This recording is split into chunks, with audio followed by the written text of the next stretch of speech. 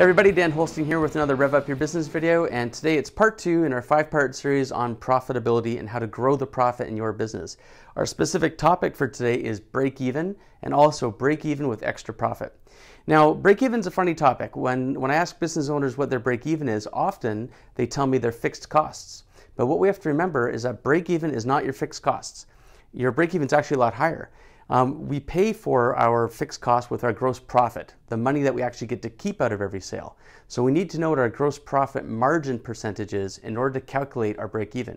If you're not sure what your gross profit margin percentage is, go back to part one um, in, in our video series here where we describe exactly how to calculate what your gross profit margin is. So let's get into a couple of definitions. How do we actually calculate break even if it's not your fixed costs? Well, your break even is actually your fixed costs divided by your gross profit margin percentage. So FC over your gross profit margin.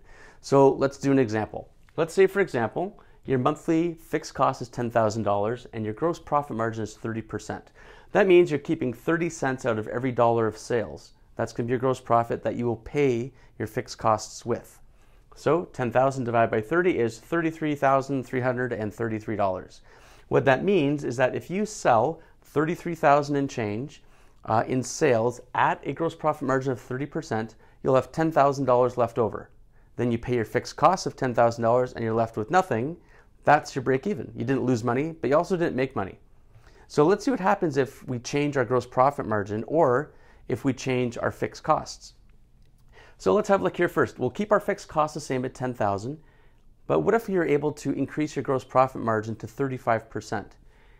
Now all we need to do is to sell $28,571 worth of sales at 35% to net out our 10 grand to break even. So that's a difference of about $4,700. So isn't that interesting? Just an increase from 30 to 35% in your profitability, in your gross profit margin percentage, means you only have to sell $4,700 less in order to break even. That's a substantial amount of, of savings uh, or of sales that you don't need to make in order to break even. So let's look at what happens when we uh, find a way to reduce our fixed costs. So we're going to go back to our 30% again that we started with.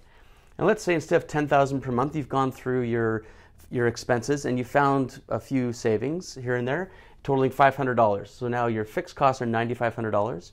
Your gross profit margin is 30%.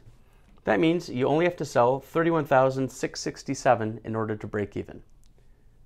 With a $10,000 break, uh, fixed cost, you have to sell 33 and change.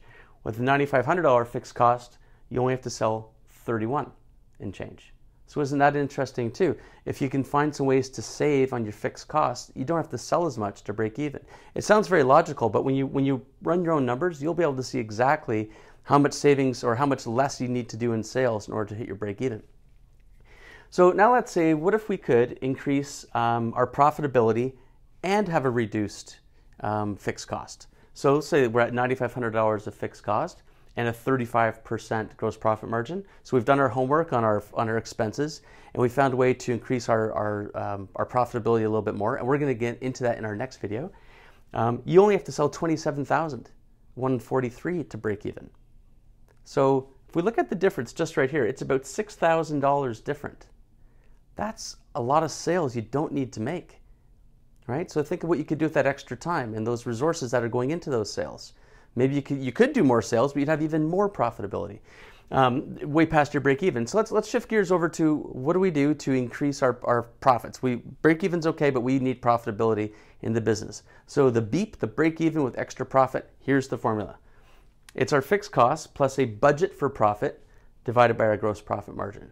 So just like we have to pay our fixed costs, we're going to make a decision about how much profit we're absolutely going to expect out of the business.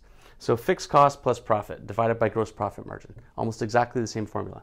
So if we plug some numbers in, let's say we're back to our $10,000 fixed cost, and we want to have an additional $5,000 of profit in the month, and we have our prior uh, profit margin of 30%. We have 10,000 plus 5,000, that's 15,000, divided by 30% gives us $50,000. So to earn the extra five grand, we just have to sell $50,000. Make sense? Because we are only keeping 30 cents out of every dollar, so we need to we need to sell additionally.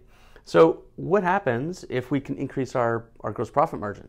Well, we have our 15,000 here, our 10,000 of fixed cost plus 5,000 of profit. and we have 35% gross profit margin. We've got a healthier profit margin. We only have to sell 42,008 and change. So it's just about a $7,000 difference. So you can see how we can get these wild swings in what our sales need to be in order to break even and to earn profit depending on our fixed costs and depending on our gross profit margin. So your homework for this week, if you haven't already done it, go and calculate out what your gross profit margin is on your different products and services so that you can be clear on where your money is really being made and where you're just putting a lot of time and effort for very little profit. And the part two of your homework is to have a look at your expense lines and your profit and loss statement and, and look for savings. So you could find those savings in things such as um, subscriptions for software or magazines or memberships that you're not using. You, uh, you could find it in overcharging in, say, like your phone bill and things like that. Have a look through. Is there anything that you could get a little savings on? Okay, so that's it for this week. Next week, look forward to seeing you for part three of our five part series on profitability, where we're going to show you where your best profit margins can be made with the least amount of time and effort. Till then, have a fantastic week and feel free to reach out if you have any questions on your break even, on your gross profit margin, or any of the above. Look forward to seeing you next time.